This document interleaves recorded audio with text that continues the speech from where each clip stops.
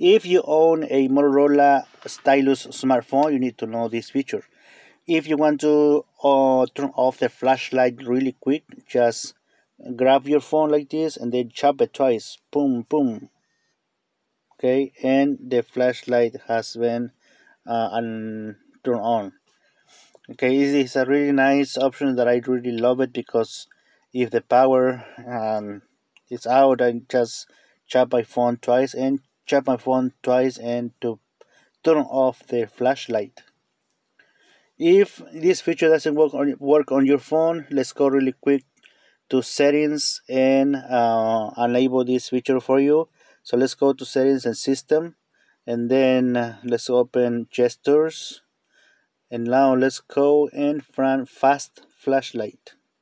Open fast flashlight and enable it okay? It has to be on here if this is off that means that it won't work if you chop your phone twice.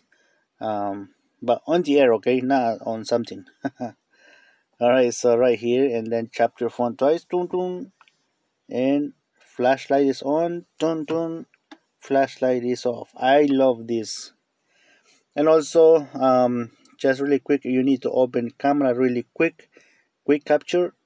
Quick capture okay you need to have this on so just grab your phone like this and twist your wrist twice boom boom. There you go and the camera and the tune tune to close it. There you go. Now the camera oh I mean selfie. You have to move your camera regular camera and selfie. There you go so Alright, so this is how to use these two Moto actions. Um, are really nice. I love it. Let me know if you have any questions and please subscribe to this channel.